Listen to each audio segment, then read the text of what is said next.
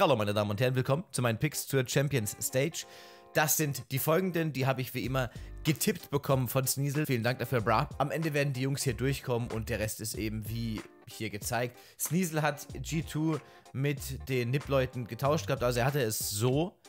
Er hat mir aber geschrieben, hey, man könnte es auch noch so machen und ich, ähm, ich glaube einfach an Nip, weil der Name so cool ist. Bis zum nächsten Livestream. Later! Mit Instagram